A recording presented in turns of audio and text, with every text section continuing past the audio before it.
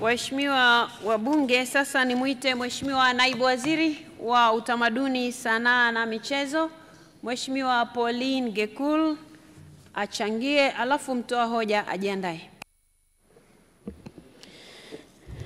Mheshimiwa Spika, nikushukuru sana kwa kunipa nafasi na mimi niweze kuchangia katika hoja ya wizara yetu siku ya leo. Awali ya yote nimshukuru sana Mwenyezi Mungu aliyetujalia afya njema, Mheshimiwa Spika, sisi sote humu ndani kuweza kuiona hii siku, lakini tukiwa na afya njema. Lakini pili, nimshukuru sana Mheshimiwa Rais wetu Mama Samia Suluhu Hassan kuendelea kuniamini kuwa naibu waziri katika wizara hii. Mheshimiwa Rais, namshukuru sana. Mheshimiwa Spika, nishukuru pia wabunge wenzangu ambao wao unatuongoza katika bunge hili tukufu kuendelea kuwa washauri katika wizara yetu. Mheshimiwa Spika, sio washauri tu, lakini we uh, binafsi we pia ni mwana michezo mwenzetu, lakini pia na waheshimiwa wabunge wenzetu ambao pia wametukumbusha katika hotuba yetu kuwaweka pale ambako tumesahau, mtuwie radhi. Mheshimiwa Spika, nishukuru kamati ya bunge ya huduma ya jamii ambayo imekuwa ikitusimamia na ikitushauri kwa niaba ya bunge zima katika masuala mbalimbali kwa ajili ya wizara yetu. Mheshimiwa Spika, kwa namna ya pekee nimshukuru Mheshimiwa waziri wetu Mheshimiwa Mohamed Mchengerwa, amekuwa kiungo kwetu sisi wasaidizi wake, lakini amekuwa akitushauri kwa upendo, amekuwa akitusisitiza tushikamane. Mheshimiwa Spika, sisi kama wizara na wasaidizi wake tumekuwa na amani sana kufanya naye kazi, na ndio maana mambo yanakwenda. Mheshimiwa Waziri, tunakushukuru. Lakini pia niwashukuru wananchi wa jimbo la Babati mjini ambao wameendelea kuniamini na kunifanya mbunge wao. Niwaahidi kwamba jambo letu la maendeleo liko pale pale na tutafikia inshallah, Mwenyezi Mungu atutangulie. Nishukuru familia yangu kwa maombi yao, lakini pia Watanzania kwa maombi yao. Mheshimiwa Spika, baada ya kusema hayo machache kwa shukrani, naomba sasa nipitie kwa haraka haraka hoja za kamati baadhi na hoja za waheshimiwa wabunge wenzetu. Uh, hoja namba moja Mheshimiwa Spika, ambayo nilitaka kuzungumzia ambayo imetokana na kamati ni hoja inayosema kuibua vipaji vya michezo, serikali ina mkakati gani?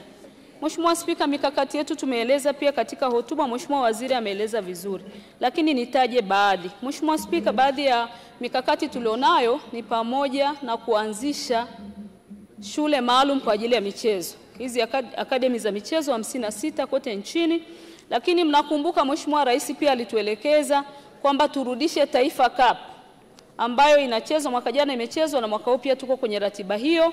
Lakini pia Mheshimiwa Spika, kupitia Taifa Cup tumekwenda tena mwaka huu kwenda mtaa kwa mtaa, ndo mpango wetu tumesema kwenye, kwenye, kwenye bajeti yetu kuhakikisha kila mtaa, kila kata tunakwenda kuibua vipaji, na ndio maana tunaomba bajeti hii. Jambo jingine Mheshimiwa Spika ni uwekezaji katika wataalamu wa michezo. Mheshimiwa Spika, kamati imeshauri na imesisitiza jambo hili.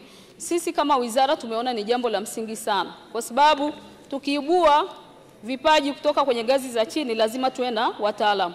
Ndio maana katika mpango wetu huu Mheshimiwa Spika na waheshimiwa wabunge wenzangu, mmeona tumeweza kuweka fedha kwenye chuo chetu cha Malia kuhakikisha kwamba kozi pale zinatolewa, lakini pia wanachuo wanaokwenda pale tunawajengea hostel waweze kutulia, wapate mafunzo tukishirikiana na Wizara ya, Elimu kwa upande wa mitaala.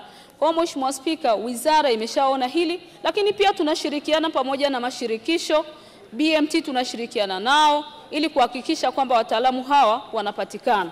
Kwa Mheshimiwa Spika, sisi tushukuru bunge lako tukufu limeendelea kututengea fedha kupitia wizara hii kwenye mfuko wa maendeleo ya michezo. Kazi mojawapo ya kuhakikisha kwamba fedha hizi zinatumika vizuri ni pamoja na kuibua wataalamu. Mheshimiwa Spika, kulikuwa na hoja jingine la usimamizi wa vyama na mashirikisho uachwe kwa wadau wenyewe. Mheshimiwa Spika, hili jambo sasa ndivyo lilivyo. Sisi kupitia BMT, kupitia msajili wa vyama vya michezo, tunasimamia katiba zao na tunahakikisha kwamba wanachama wanatendewa haki. Na Mheshimiwa Waziri alishamteua msajili, mwanzoni tulikuwa hatujampitisha, lakini amepatikana. Tunaamini waheshimiwa wabunge, zile kero ambazo ziko kwenye vyama, zipo kwenye mashirikisho zinakwenda kusimamiwa kupitia BMT, lakini katiba za vyama zinasimamiwa ili wanachama watendewe haki. Mheshimiwa Spika, jingine ilikuwa ni kwa nini um, mshahara umepungua katika wizara hii, ilikuwa ni hoja ya kamati. Waheshimiwa wabunge wenzangu, Mheshimiwa Spika, uh, fedha hizi zimepungua kutoka kwenye wizara yetu baada ya Mheshimiwa Rais kupunguza majukumu ya wizara yetu ya habari kuondolewa kwetu. Zaidi ya bilioni sita zimeondoka na idara ya habari kwenda kwenye wizara nyingine. Mheshimiwa Spika, kwa sababu ya muda naomba niende kwenye hoja za wabunge, baadhi ya waheshimiwa wabunge. Mheshimiwa Bulaya na wabunge wenzangu, tunapokea pongezi zenu zote ambazo umetupatia kwa ujumla na tunazithamini.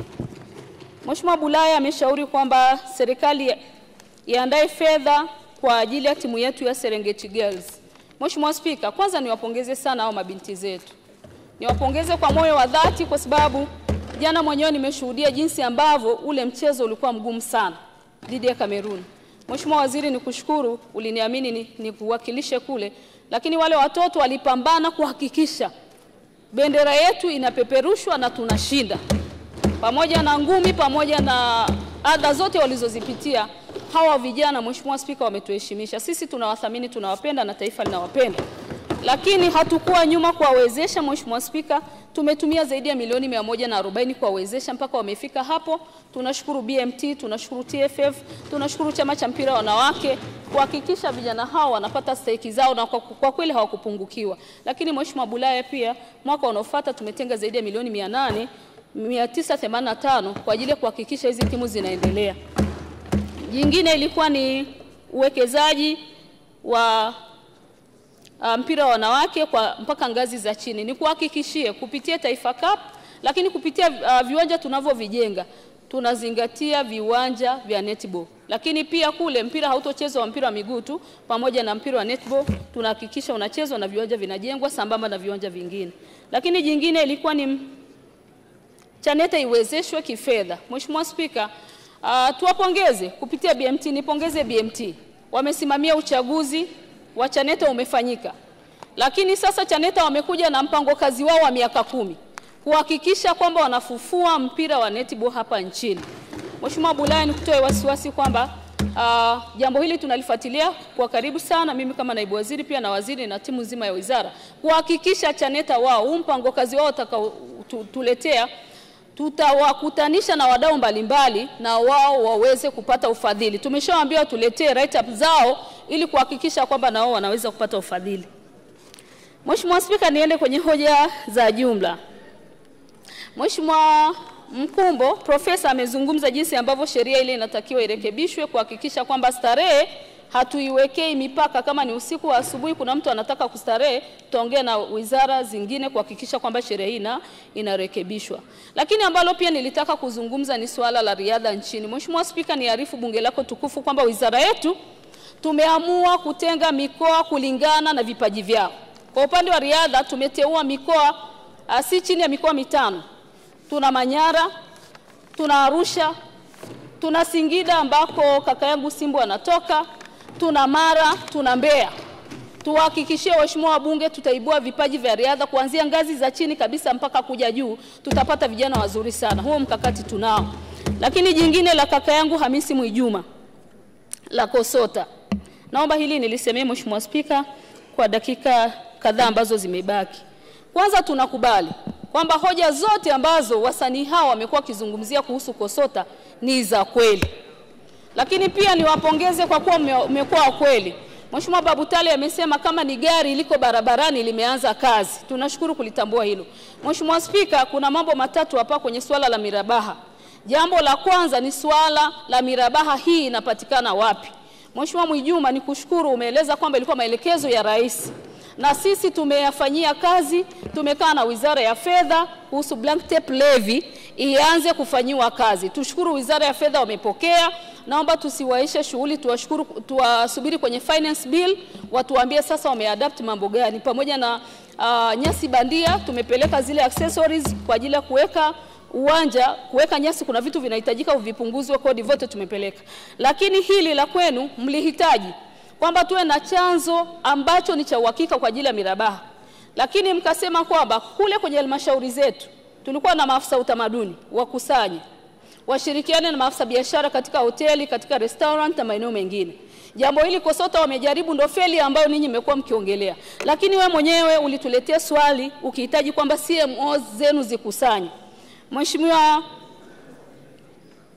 Mheshimiwa Spika, haya yote si tumepokea. Ahadi yetu kama wizara kwa tasnia hii ni kwamba tutakutana na wadau, tutapitia haya yote, lakini pia finance bill itakapoletwa, maanake sasa kama kutakuwa na adoption ya blanket levy, source itakuwa imepatikana. Jambo la pili katika hili la KOSOTA, Mheshimiwa Spika, ilikuwa ni suala zima la distribution ya mirabaha. Tutapokuwa tumepata, tunagawa vipi?